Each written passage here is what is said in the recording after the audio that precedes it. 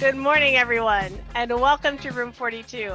I'm Liz Fraley from Single Sourcing Solutions. I'm the moderator today. This is Janice Summers, our interviewer, and welcome to George Hayhoe, our guest for this, the very first episode of Room 42.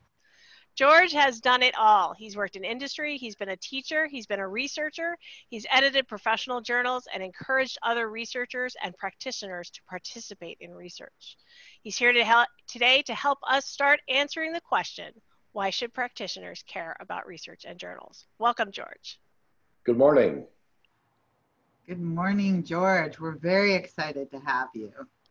So, so the topic of, of discussion is about journals, um, professional journals, and why should they matter so much to practitioners?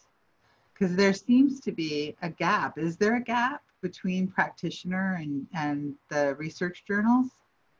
Oh, absolutely. Um, it is, I think, particularly felt by practitioners who think that the folks who publish research in journals have no clue what it is that they actually do in the real world. And it's also felt by researchers who are frustrated because they do research, they publish research, and they feel that nobody's nobody in the world of practitioners is paying attention to it. Now, sometimes that's deserved because there's very little connection made in the articles and books uh, between the uh, information that they contain and uh-huh. the needs of practitioners. So now how do we start to affect a change in that? Is there interest from because I'm sure even you know from the researcher's perspective and the the effort that it takes to do research and to write up articles, I'm sure there's some frustration on their part that it's just gone into a dustbin and nobody pays attention. So oh, how, how, how do we start to change that? Well, uh, two of the major journals in the field, Technical Communication, which is published by STC, uh-huh. and the IEEE Transactions on Professional Communication, which is published by the IEEE Professional Communication Society. For each article that those two journals publish, Mm-hmm. They include a practitioner's takeaway. Okay. Uh, uh, typically, that's a bulleted list uh, early in the article that uh, highlights the information that is contained in the article that is per, of particular interest or should be of particular interest to practitioners in industry. Now, there's also a uh, movement within professional organizations to uh, have a cross fertilization, if you will, between uh, industry practitioners and academics, the folks who typically uh, publish most of the research. Uh, STC, for example, has an academic SIG, special interest group. Right. Uh, that SIG has uh, sponsored a, in the past, I, I don't think it has been done in several years, but has sponsored in the past a mini conference with the Council of Programs in Technical and Scientific Communication, uh, which is an organization that's composed of primarily department heads or program uh, heads in academic departments. And uh, that conference has encouraged uh, a face to face meeting of practitioners and researchers.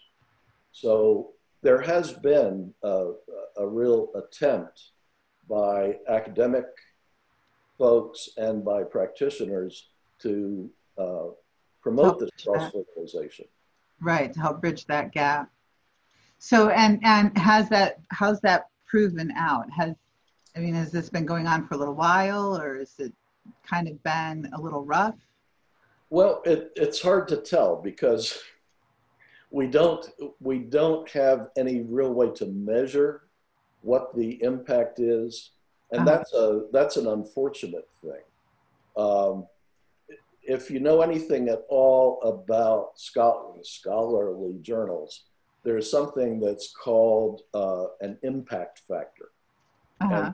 Impact factor basically looks at how many people have cited an article over the past five years. Right. Not not an article, but articles in a particular journal over the Right. last five years. And that's helpful, but it really only measures the impact of the research on other researchers. Uh, back when I was uh, editing STC's journal, I published an editorial that was basically calling for a practitioner citation index, not, a, not in the sense of a citation of research, but use or application of research. The problem there is there's really no way of measuring that. Uh, we can we can look at cites of articles in other articles. Uh, that's relatively easy to do. Uh, seeing how measuring how influential an article is is extraordinarily difficult, and sometimes when an article is cited or uh, referred to by practitioners, it's kind of a mistaken citation or a mistaken application. Uh-huh. Uh, I think, for example, there's an article that was published, I believe, in 1957 in a, a psychology journal uh, by George Miller. It's called The Magical Number Seven Plus or Minus Two. Uh, and it's uh, an article about a study in cognitive psychology that looked at how much information people can retain in their short term memory Mhm. and call upon easily. Mhm. That's very helpful uh, to know that you can only retain somewhere between five and nine bits of information in your short term memory. But a lot of people have applied that principle incorrectly. And uh, I've, I've heard many people, well, not I've heard people say, for example, that bulleted lists or numbered lists should contain optimally seven items, seven list items. Right. Um, well, that unfortunately has nothing to do with, with Miller's finding. Uh, it's, a, it's a misapplication of Miller's finding uh, because when, when you're dealing with a bulleted list or a numbered list, you've got the list in front of you. You don't have to retain it in your memory. Right. Uh, so, you know, that's, that's the kind of thing that we're, we're looking at. Uh, how can we determine how influential works of research are in terms of their application by practitioners. So finding out how useful the practitioner feels the research is. Yes, uh, or how aware they are of it. Uh, you That's got to be aware of it before you can use it. Right. They have to know it exists, right? Like how would they find how would they find information? If they're looking for like, is there research on formatting? How would they go about finding that information? Well, uh, one way of being aware of research that's published is to be a member of a, uh professional organization that sponsors a journal. So, for example, if you're a member of IEEE's Professional Communication Society, you automatically get a subscription to the IEEE transactions on professional communication. If and you- access to all the archives. Absolutely, yes. Yeah, which is important because you've got rich archives. Exactly. Mhm. And you can go to that archive and search on the uh, terms that you want to find information about. Mhm. Similarly, STC has a professional journal called Technical Communication. Same thing applies. You get a subscription as a member, you can go to the archive and search. Mhm. Uh, the Association of Teachers of Technical Communication publishes a journal called Technical Communication Quarterly. Same thing applies there as well. So that's how you can find information uh, from journal articles, and the vast majority of research in our field is published in journals. Mhm. And all of them then have a nice rich archive that's searchable, easy to access. Correct. And and then if you don't belong to a professional organization, but you ought to, uh, but if You're in you, the profession. if you don't, uh, and I, you know, I can understand. Back when I uh, started my life as a technical communicator, my employer paid my professional society dues, and that was really nice. Yeah. Uh, but I am guessing that darn few companies these days are doing that anymore. Right. But if you don't belong to a professional organization, there is another way to find a lot of information. It won't be as uh, complete, it won't be as comprehensive, but there's a critter called Google Well, Scholar. And another thing, really, I mean, if you're an individual in a profession, it's kind of like, you know, we should all kind of be a little familiar with dues. We go to the gym, we pay a membership fee. It's like, so it's, you know, it's not that bad to pay a membership fee, even if your company doesn't pick it up, right? That's true. You Uh, might just have to pick one group to belong to as opposed to like all groups. Yeah, and uh, you know there are five major journals in our field.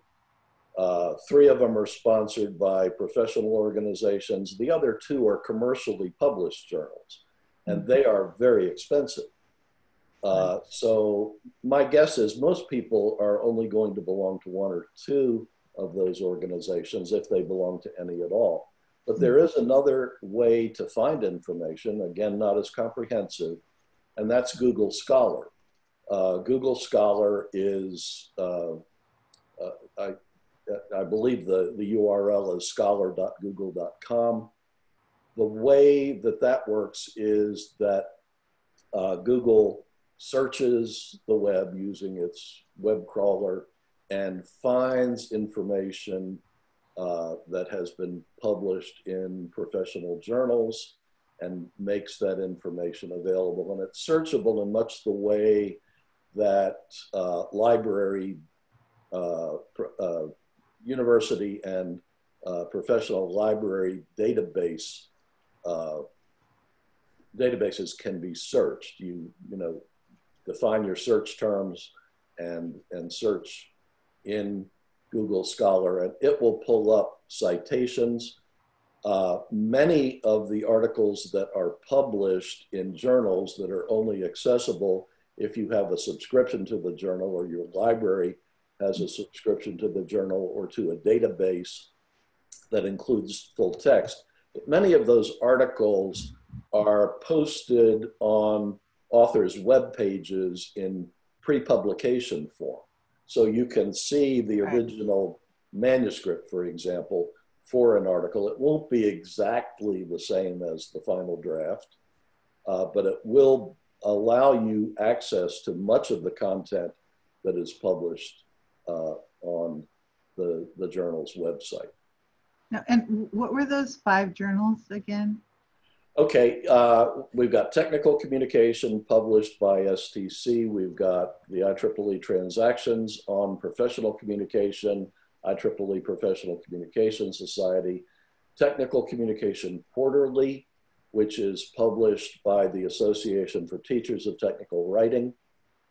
And then the two commercial journals that are published by SAGE are the Journal of Technical Writing and Communication and the Journal of Business and Technical Communication. Now, those are pricey. Uh, the uh, journals published by the professional organizations are available for the cost of, of membership, which Of of membership, right? has has much greater value than only the journal, although the journals are extremely valuable. So, how would um, somebody find out, like, if, like, all right, so say I have a topic and I'm not really finding any relevant current information on research work. Because here's here's the thing. As practitioners, it's hard for practitioners to find the time to properly do research. It's just the way of work. I mean, as a practitioner, you have very tight time constraints, your demands are different. The nice thing about academia is there is time. Um, they yeah, are allowed. There's they're allowed bandwidth. And now a lot of times aren't they expected to also be publishing and doing research Absolutely. as well? Yeah. So how would I, as a practitioner, I can't, I can't find anything in these journals how would I reach out and find someone who's doing research right now on what? Is there a, a, a way that, that academia notifies people, hey, we're doing research on this? Well, yes and no. Um, for special issues or for collections of essays, uh, there are typically calls for proposals that go out. Uh, we just sent out a call for proposals for a guest editor on a, a for a special issue on enacting social justice. Um, that is one way to know that there's something coming down the pike, mm-hmm. but that issue won't be published until March 2022. Okay, there's a there's a long lead time. Yeah. Um, and the, the the lead time is typically somewhere between 12 and 18 months uh-huh. for uh, journal special issues. Longer than that, typically for collections of essays published in book form. Um, uh, there's another way of reaching out, mm, probably less uh, well, certainly less comprehensive. Uh, and that is to contact the academic members of your STC chapter, for example, or your STC special interest group. Right. And that, and to, to reach out to those STC SIG listservs uh, as a way of finding information uh, as well there are probably other people out there who are confronting the same problem uh, that you're confronting and to, to reach out via the list serve and to ask folks, do you know of any research on topic X? Uh, mm-hmm. that's, that's certainly one way to do it. Um, but it, it's again, it's not entirely satisfactory because it's kind of scattershot. Uh, one way to, to get research done on a topic of interest, uh, it's, it's not going to happen for the project you're working on next week. Right. Uh, but if it's something that your company has confronted repeatedly, that would be to partner with an academic researcher mm-hmm. uh, to let them know. Well, that means you have to find somebody whose area of specialization is roughly correspondent to what it is that you want to learn. And, you know, ask them, have you ever considered looking at this question? Have you ever considered uh, whether uh, designing graphics for international audiences has has changed over the last 10 years. Uh, looking at work that was done, uh, you know, uh, 10 or 15 years ago compared to work that is being done today, and, and looking at how users react to the graphics, how helpful they find the graphics, mm-hmm. Uh, how, how relevant they find the graphics. So one of the things I know we talked about before um, you and I was was your interest in having practitioners more involved in the journals, right? Yes. so having them actually uh, writing articles for the journals and doing what like mini research? What what are the types of things that you feel are kind of missing from practitioners being involved in the journals? The very first thing is to involve practitioners in review of manuscripts. Every time i receive a manuscript uh, the first thing i have to do after i've logged it into my database i need to locate people who are uh, expert reviewers on a subject. Uh, I always try, when possible and relevant, to locate at least one practitioner, uh, one practitioner reviewer, and one academic reviewer. And so having uh, a, a, knowledgeable, uh, research savvy practitioner who is able to uh, examine a manuscript and respond to that manuscript with uh, helpful criticism, that's a, a big plus. I'm always on the lookout for such practitioners. So if anybody out there is interested in doing that kind of thing, I'd be very happy to know that. Yeah, that's what I was just going to ask is how would somebody say, hey, you know, I'm willing to volunteer my time to help improve these journals and I'm an expert in this field. How would I make myself known? I mean, you know a certain sphere of people who know a certain sphere of people, but sometimes people just want to jump the, the that and just say, hey, list me. I have this expertise. And if you need me, I'm here for you. Absolutely. Is there a way for for people to say, hey, I'm here? Hello? Absolutely. Uh, send an email to the journal editors. Okay. Uh, let them know that you're interested in doing reviews. I know in the case of my journal, the IEEE transactions, in the case of technical communication, uh, we regularly call on practitioners to uh, do reviews. The more academic journals, uh, Technical Communication Quarterly, which tends to uh, very often focus on very theoretical stuff or pedagogical stuff. Uh, practitioners may be less qualified to do reviews of those kinds of manuscripts, maybe, mm-hmm. not necessarily always, because lots of practitioners work as instructors part time in technical communication programs. Uh, but let editors know that you're interested, and uh, they will be uh, probably. I'm guessing. I know I would be delighted. delighted. to, to have volunteers who are uh, experts in in particular areas. Like you said, I call on the people that I know. Right. Uh, and you know, and a, lot, know a lot of folks, but my uh, contacts are not infinite. And it's sometimes it's nice to get some fresh blood. And my comment to people when they say, because see, these aren't like big corporate sponsored journals, right? So a lot of these organizations do rely on a lot of volunteer work as well. So oh yeah, yeah. So I my comment to anyone who usually has a, a vote of criticism is be sure to volunteer to yes. make a difference. Don't just point out that there's a challenge there.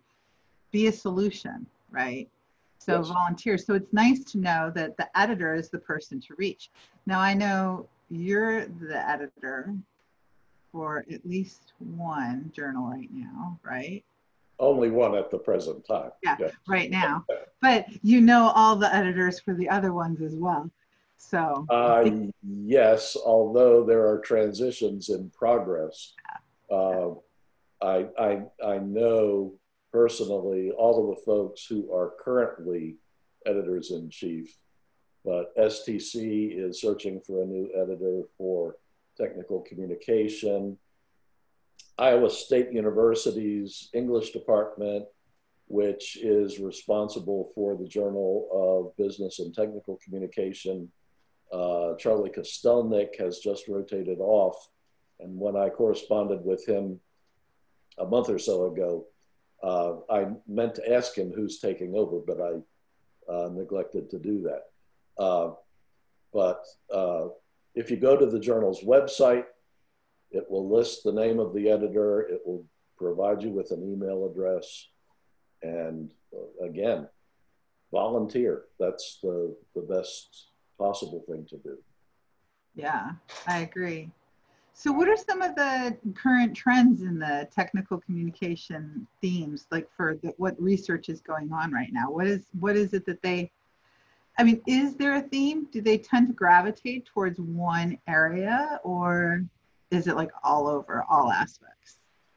It's really quite general. I mean, there are there are some topics that seem to be very popular. Mm-hmm. Uh, articles on usability are uh, apparent in virtually every journal. Mm-hmm. Uh, something that I've gotten a bunch of manuscripts on in the last couple of months has been social media. Uh, not surprising, mm-hmm. uh, obviously, given the current climate. Um, but, uh, uh, you know, some of those articles have been extremely interesting to me. Uh, I kind of dip my toe in the world of social media, but I'm uh, a boomer and I'm, I'm not the, the most social media savvy person out there. Uh, but we published an article in 2018 uh, that looked at the influence of uh, Twitter tweets on the Dakota Access pipeline. Ah, yeah. Uh, that I just found extremely, uh, extremely interesting and I think uh, particularly valuable. Uh, but I've gotten, uh, I'd say in the last four or five months, I've gotten five or six manuscripts. And that probably accounts for mm, 20, 30% of what I've gotten mm-hmm. time period on some aspect of social media or other. But usability, social media, information, uh, architecture, pardon, uh, content management, uh, those are big areas. Uh, and, you know, just about everything, anything else right. that you can imagine. Is there anything in your opinion that's missing? Like, wouldn't it be great if somebody took on this kind of research? Like, what would be like a dream not for you to take it on, but to toss it out there to everybody to say, hey, somebody, do this. It's missing right now. There's a void. That's a good question. I'd have to think about that, I think. There's nothing that occurs to me immediately because, I mean, the universe is so large, uh, you know, universe of potential topics. Yeah. And my immediate concern is what's come over the transom in the last day or two or five.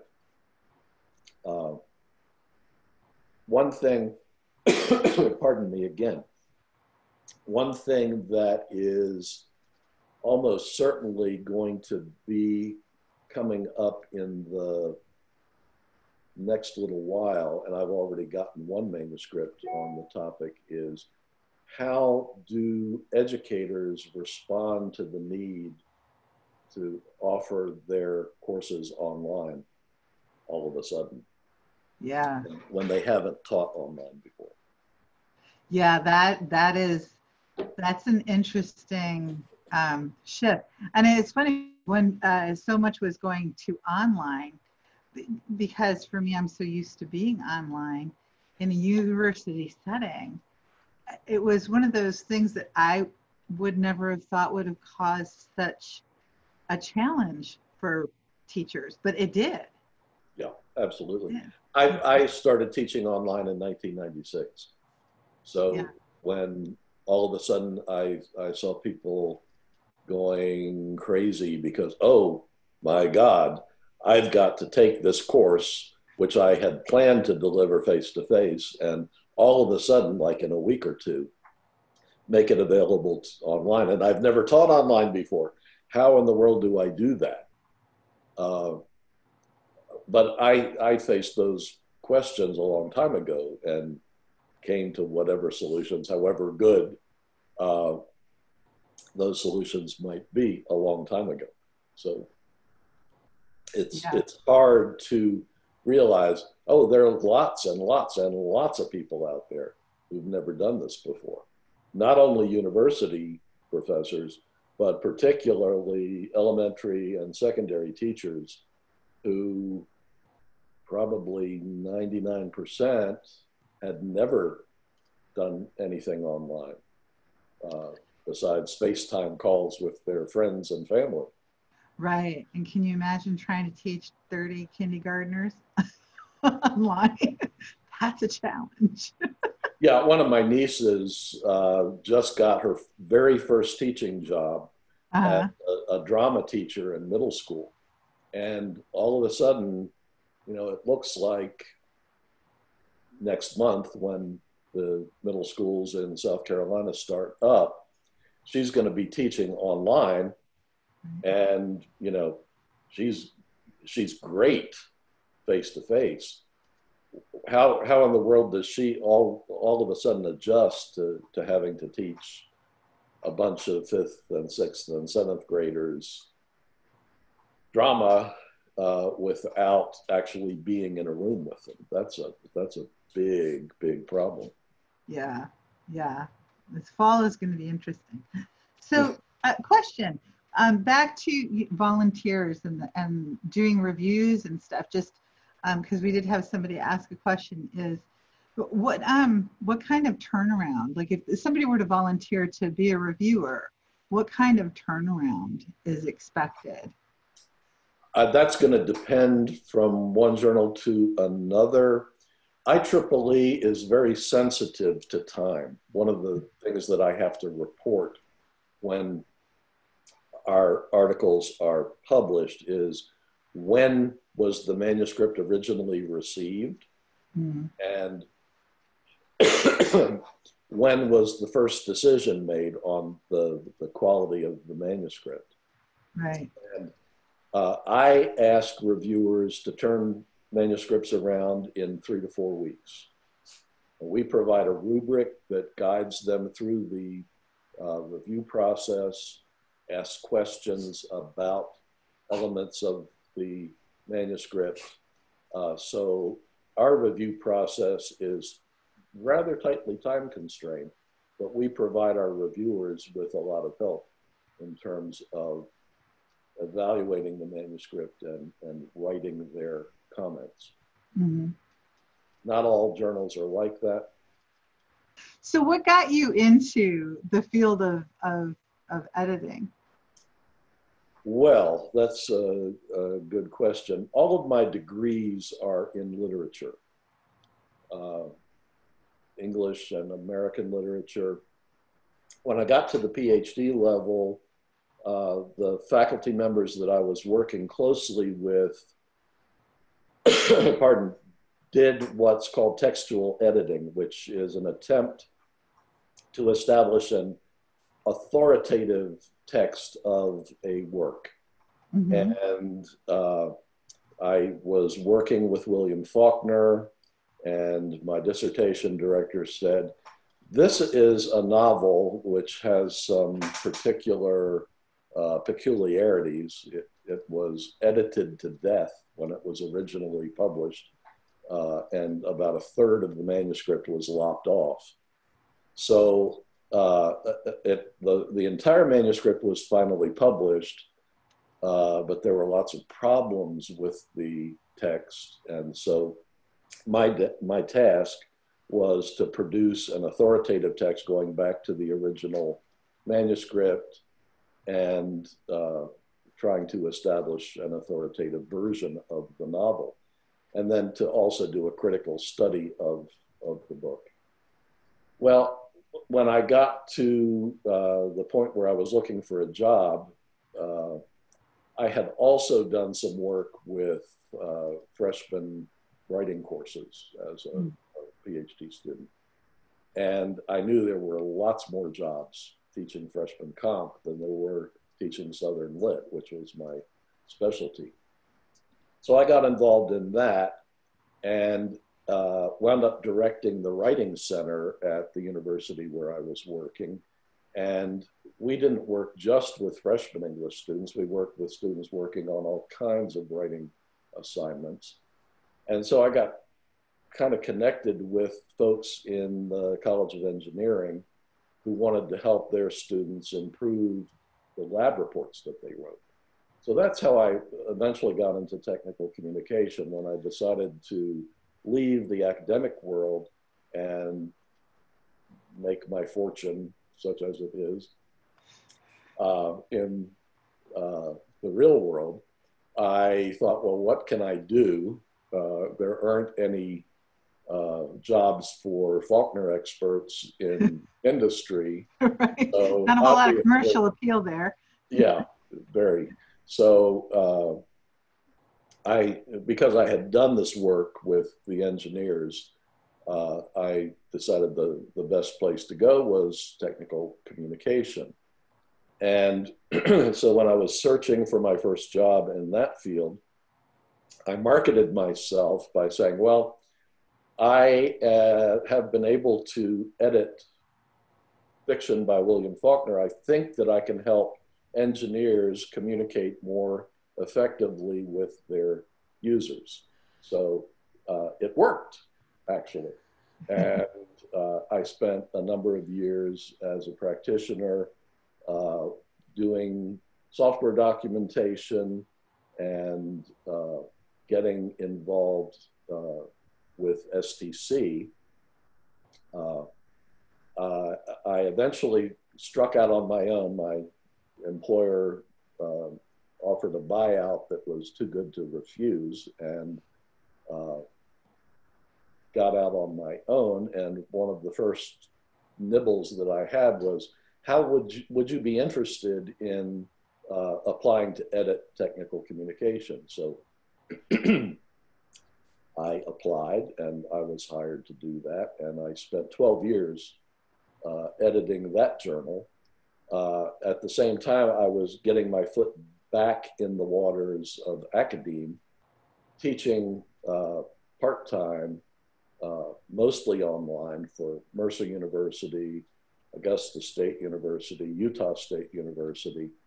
And uh, eventually, Mercer needed someone to direct their master's program.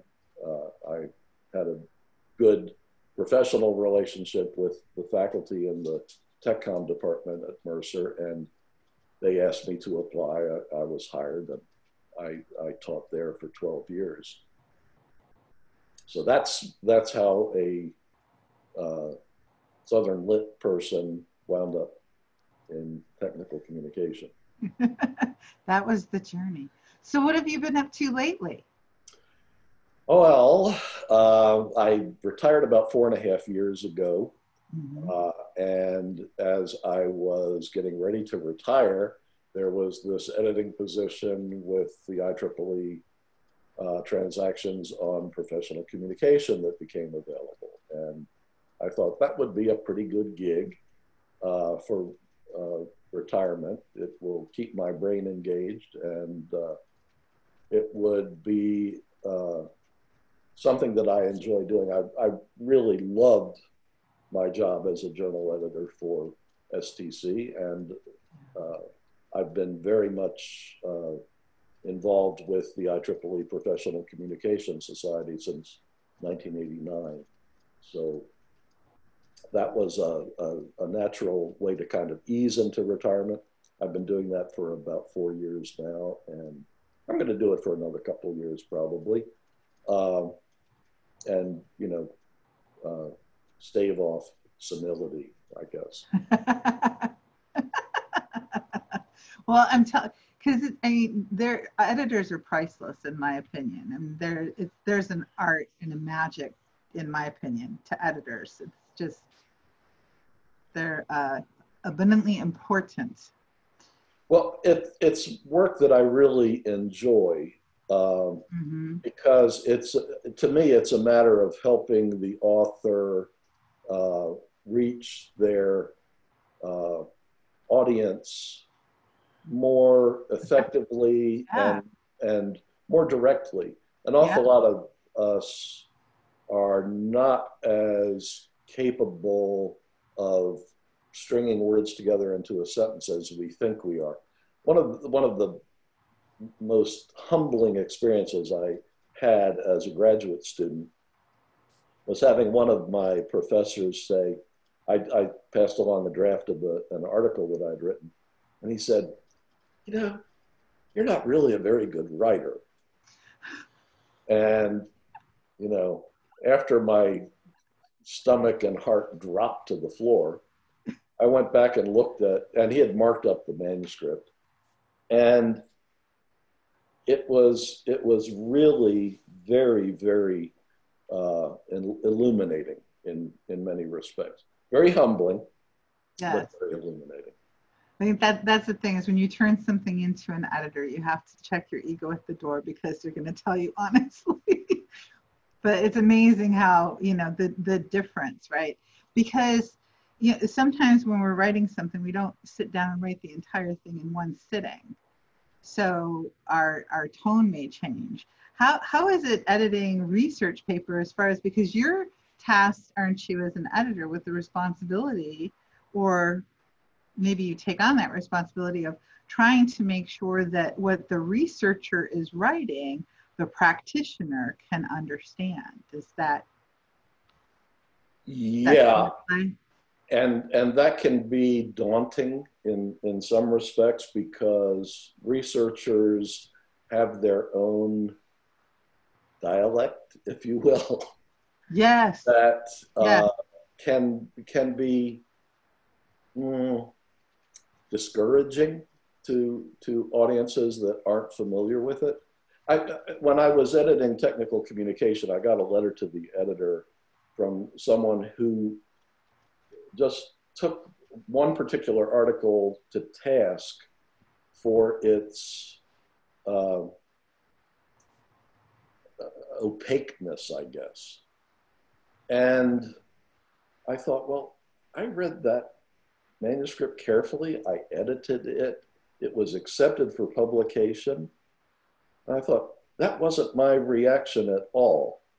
And so, and, and I know there are problems with, you know, uh, reading level tools, you know, that tell you the grade level of, of a particular uh, piece of writing. But I, I thought, well, okay, let me see what, what the grade reading level of this article is. And then I'm just going to pick an article at random from Scientific American Mhm. and compare them. And, you know, they were roughly at the same reading level. And so I went back to, you know, comparing them and I thought, well, really, the only difference between these two articles is not the clarity of the writing at all, but the fact that the journal article has footnotes or endnotes in, in this case. And the Scientific American article really doesn't.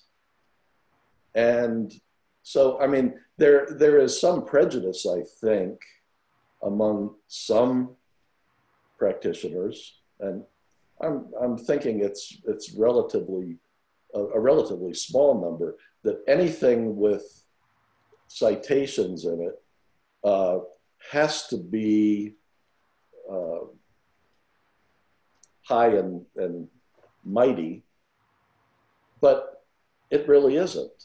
It's they've they've got a bias against things that have citations, uh, whereas many academics have bias against things that don't have citations. So we've got Right, cite your sources. Yeah. Yeah. Yeah. If you're making a statement, cite your sources, yeah, precisely. which is practitioners, you know, kind of get out of that habit of doing. Interesting. So what what's some of the recent things that you've worked on that's really kind of stood out to you that's been interesting? Hmm. Or not editor- interesting? As an editor, Yeah. Uh, I've been working increasingly with non-native speaker authors, and that uh, you know, IEEE is an international organization. It's Right. got mm, close to three quarters of a million members all over the world Right. and increasingly large numbers in Asia and in uh, South America and Africa. It's always had a, a good number of members in Europe. So, because it's such a presence in the publishing world, in the world of technology publishing, uh, it's become increasingly a target for publication by scholars in those areas. And that's been the case recently, increasingly recently, with uh, the transactions on professional communication. So we have the, the increased challenge of authors for whom English is not their first language, maybe not even their second or third language, hmm which is a humbling thing in itself because I struggle with my native language sometimes and, I'm not very good in the couple of foreign languages that I've studied. Uh, so, how to help them communicate more effectively in a second or third or fourth language, uh, how to uh, get them to begin to understand that they're dealing with an international audience because most of them have published in their national or regional journals and not necessarily in international journals. So now they need to uh, direct their ideas to people uh, that are half a world away, living in a different culture, both a different uh, megaculture in, in terms of society around them, but also in some respects a different academic or uh, industrial culture as well. So that's that's been a challenge. Yeah, trying to find the common language that both will understand, that common denominator. That's interesting. Very much. That's interesting.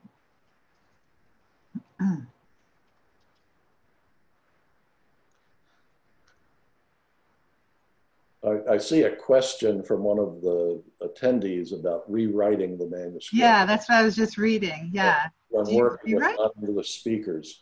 Um, no, I do not rewrite. I I try to be to have as light a hand as possible, uh, Right. not only with non-native speakers but also with native speakers, Right, because I think the author's voice is important right. uh, I most of the rewording that I do is rewording for conciseness.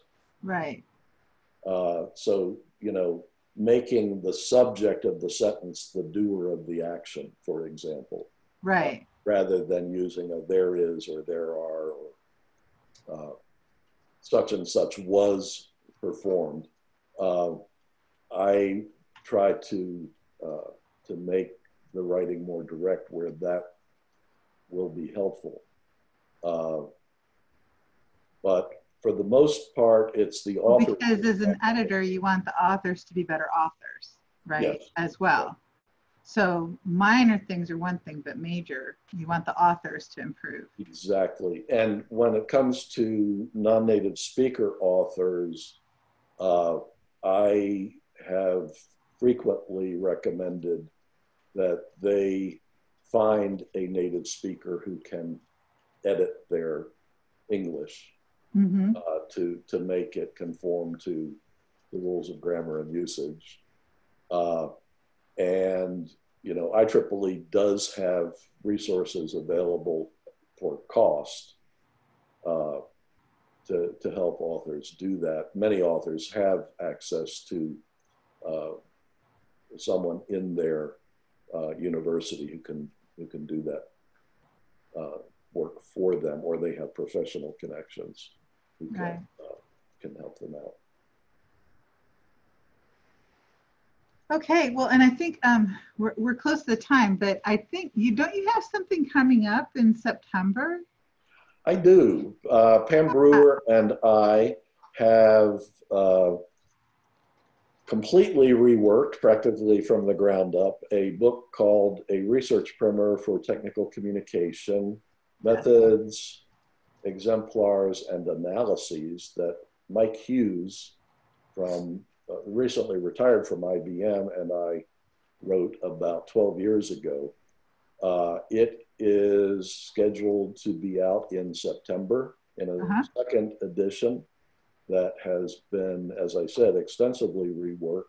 Lots of new material. All of the exemplar and analysis chapters are completely new. We've added uh, uh, entirely new articles uh, for each uh, research article type and uh, new analyses of those articles, of course. And we've added uh, a new chapter on uh, usability study methods and a new chapter on uh, usability study exemplar and analysis.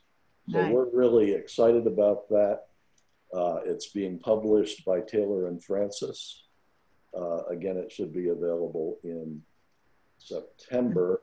And it is directed at a dual audience of students of technical communication, particularly advanced undergraduates and graduate students, Uh-huh. as well as at practitioners who are interested either in doing research on the job or in being informed consumers of research. So uh, we'll put in a plug for that.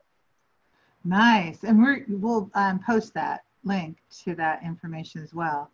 And of course, anyone who wants to reach out to you can just go ahead and pop you an email, right? Absolutely. Because you don't you don't bother with a website now, and so the best way to reach you is LinkedIn or your email, right? My email address uh, is hayhoe underscore g at mercer.edu. Wonderful. Well, I, I want to thank you. It has been a delight talking with you. I've enjoyed our conversation. And I'm so glad to have had you here in room 42. And hopefully, we'll have you back again one day. That would be nice. I Thank you enjoyed it. so much. Thank you so much, George. That was Thank Thank you. you, Oh, Liz. my- Thank you, Janice. My cats are attacking me from behind now. They've been pretty good this whole time, And my dog hasn't barked once, and that's got to be a record. right? My cats have been pretty good, but now they're starting to attack me from behind. Awesome. All right. Well, thanks. Thanks for for joining us, and I look forward to talking with you again. And have a great you. day. And links to everything are on the event page. Thank you, George. Thank you, Thank you. Janice, for such a great interview. And we appreciate it. Everyone who Thanks, came today. Bye. Bye.